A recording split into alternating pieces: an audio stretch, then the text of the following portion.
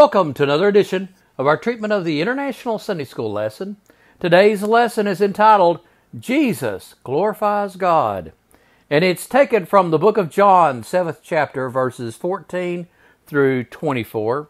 And today's lesson is for September the 17th, 2023, fall quarter, lesson number 3. Now, a little background information. A couple of things that are very important for us to understand in studying today's lesson. The first thing is is that Jesus was from a very poor section of the Jewish community and that he was not from the higher status portion of the society. The other thing is is that the Jewish people they had a class of professional teachers who were who learned their craft by a mentorship of going f- from a a teacher to a student.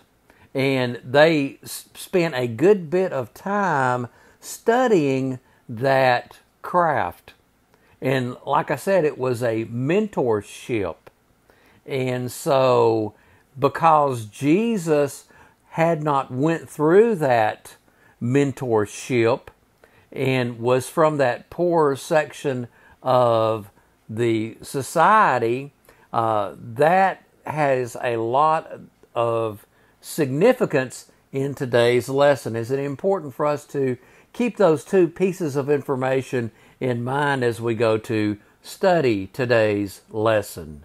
John, 7th chapter, verses 14 and 15.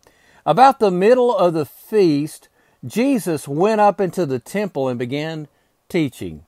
The Jews therefore marveled, saying, How is it that this man has this this man has learning when he has never studied? So we see how that the folks were amazed that Jesus knew these things and that he had not went through the mentorship that a lot of their rabbis had went through. And this is often remarked throughout the Gospels uh, where people would say that. Uh, for example, Matthew 22 and 33.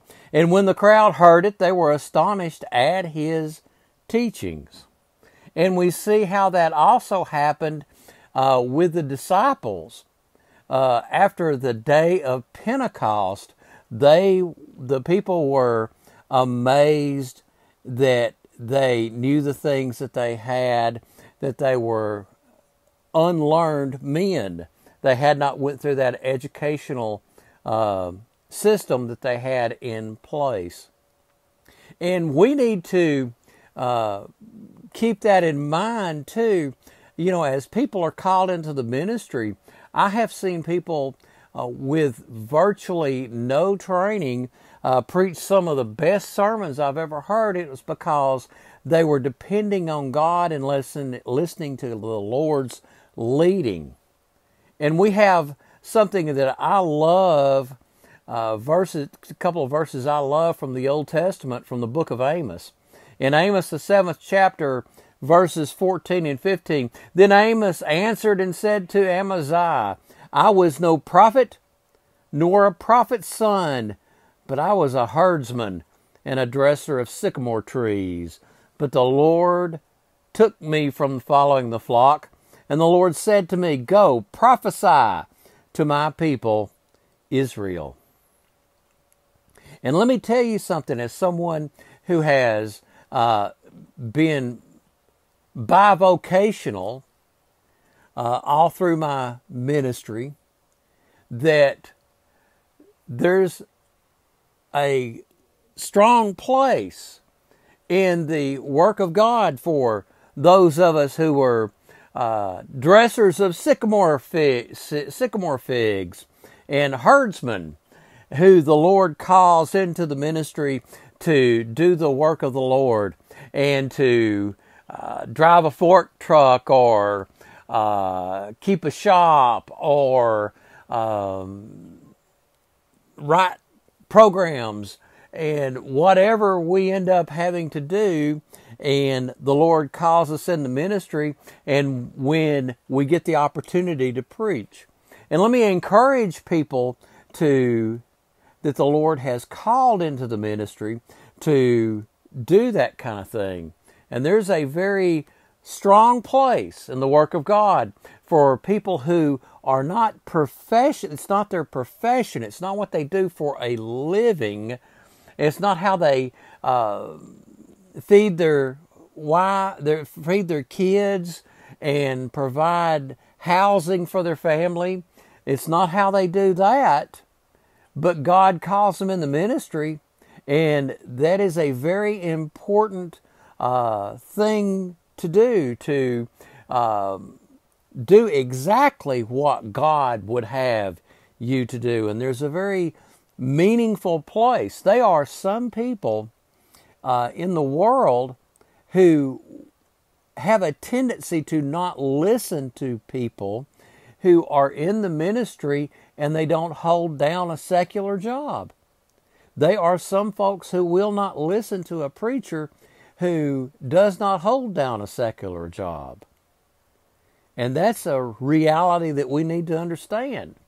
And there is a very great place for people who hold down secular jobs and work in the ministry.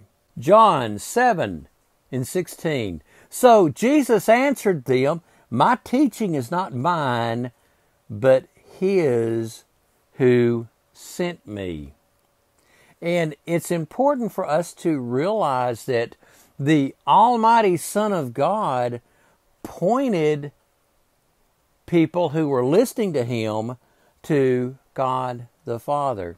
And anybody who is in the ministry or giving the impression that they're in the ministry, and all it's doing is pointing to themselves, that's extremely problematic because all of true ministry points people to the Lord Jesus Christ and is not centered on ourselves, is not centered on our benefit, is not centered on making us look like a big shot. It is to be pointing people to God. Okay? And John 12, 48 through 50 says, The one who rejects me and does not receive my words has a judge. The word that I have spoken will judge him in the last day. For I have not spoken on my own authority, but the Father who sent me has himself given me a commandment, what to say and what to speak. And I know that his commandment is eternal life. What I say, therefore, I say as the Father has told me. And that is the words of the Son of God. And those of us who are in the ministry, we need to really put our attention on sharing the Word of God. Not what we think, but what God says. And we see that's exactly what Jesus was saying, that he was saying what the Father has told him to say, that's what he was going to say. And we need to very strongly and very diligently Seek out what the Bible says, and that is what we share in our ministries. John 7 17 and 18. If anyone's will is to do God's will, he will know whether the teaching is from God or whether I am speaking on my own authority. The one who speaks on his own authority seeks his own glory. But the one who seeks the glory of him who sent him is true, and in him there is no falsehood. And that is again reinforcing how that Jesus was speaking under the authority of the of God the Father as he was in this world. He was not he he was saying what God the Father had sent him into this world to say. And those of us who are in the ministry, who are called to preach, who are called to spread the Word of God, that is exactly what the way we should be looking at it to the nth degree is to say what God would have us to say and to be speaking the Word of God and to seek out the Word of God and know what we need to be sharing. You know, the Apostle Peter said in 1 Peter 4 10 and 11, as each has received a gift, use it to serve one another as good stewards of God's varied grace. Whoever speaks, as one who speaks oracles of God. Whoever serves, as one who serves by the strength that God supplies, in order that in everything God may be glorified through Jesus Christ. To him belong glory and dominion forever and ever. Amen. Now notice how that Peter is emphasizing that as we as our churches work in its ministry that it glorifies God and does not glorify us. It does not make us look like the big shot. It glorifies God. That is what we should be focusing on is making sure that we give the glory, that we point the glory to God Almighty. John 7 19 and 20. Has not Moses given you the law? Yet none of you keeps the law. Why do you seek to kill me? The crowd answered, You have a demon. Who is seeking to kill you? Now, as we read through the Gospels, we see multiple times where the people of that day, the rulers of that day, sought to kill Jesus. Multiple times. In fact, John 11 49 through 53 reads, But none of them, but one of them, Caiaphas, who was high priest that year, said to them, You know nothing at all, nor do you understand that it's better for you for you that one man should die for the people, not that the whole nation should perish. He did not say this of his own accord, but being high priest that year, he prophesied that Jesus would die for the nation. And not for that nation only, but also to gather into one of the children of God who were scattered abroad. So from that day on, they made plans to put him to death. And that happened multiple times with multiple groups of them as they began to plot the death of Jesus. John 7 21 and tw- through 23. Jesus answered them, I did one work and you all marveled at, marvel at it. Moses gave you circumcision, not that it was from Moses, but from the fathers and you circumcise a man on the Sabbath. If on the Sabbath a man receives circumcision, so that the law of Moses may not be broken, are you angry at, with me because on the Sabbath I made a man's whole body well? And we see here how that they were seeking to find a fault with Jesus. And when you see people who get jealous, who are seeking to destroy somebody, they will sit there and nitpick and make up all kinds of things to try to do them in. And you have to be very careful when you start seeing that happening. And let me tell you something. They were fault finding with Jesus and worked up in their mind a false fault that they had worked up in their mind that was not really a sin at all, but they had already had it all worked up in their mind. So trust me, if people are going to find fault with you and they have it in their mind to do that, they are going to find a fault. And they're going to vilify you and talk about you and go on about everything. Because if they found fault with Jesus, like they had done, they are going to find fault with you too.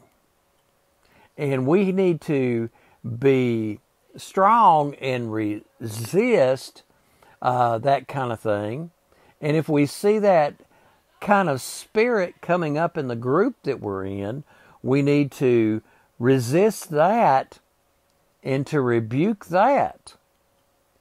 You see, that whole situation could have completely turned out different if there had been some of those groups in there that had looked around and said, you know, wait a minute now, this doesn't make sense.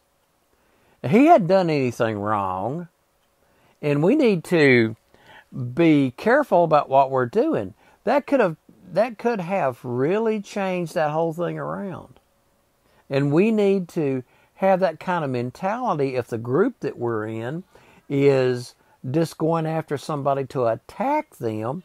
And if it doesn't make sense what they're saying, we need to stand up for the truth. Okay?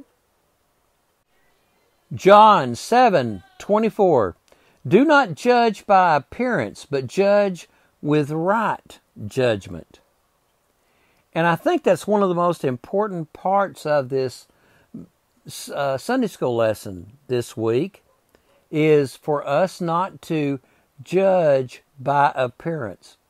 Let's see what Isaiah said about the Lord Jesus Christ. In Isaiah, the 11th chapter, verses 1 through 4, there shall come forth a shoot from the stump of Jesse, and a branch from his roots shall bear fruit.